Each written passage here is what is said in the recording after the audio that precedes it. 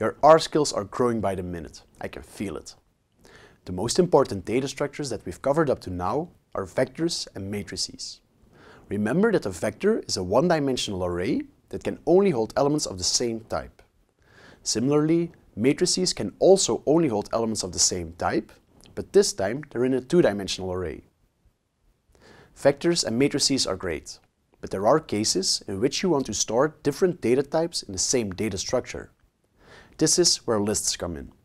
A list can contain all kinds of R objects, such as vectors and matrices, but also other R objects, such as dates, data frames, factors, and many more.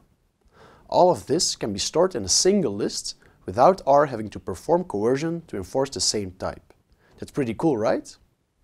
Because lists can contain practically anything you can think of in R terms, you do lose some functionality that vectors and matrices offered.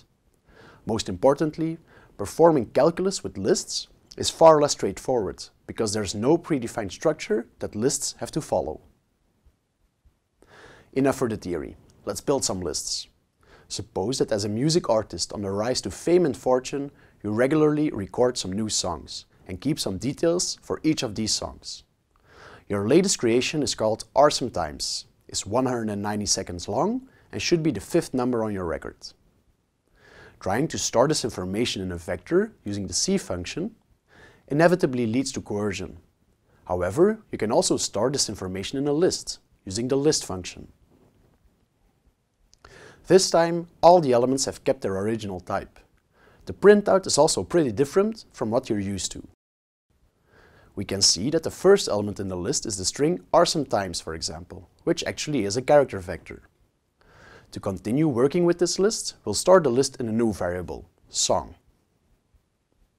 We can assert that this song variable is a list using the is.list function. Now, storing the song information like this, without any names, is not really clear. So let's assign some labels with the names function. To assign the names, you still use a character vector, even though we're working with lists now. Printing song again shows that the indices in double square brackets have changed to the names of the list elements. This looks much nicer. As was the case with vectors, you can also directly specify the names in a list at the time of creation. To create the exact same variable song, you can use this command.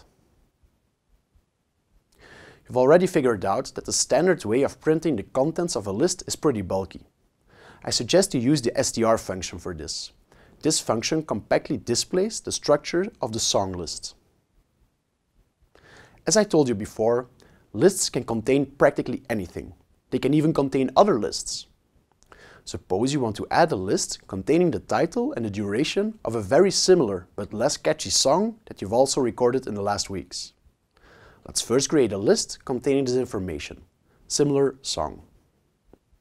We can now create the song list again as follows.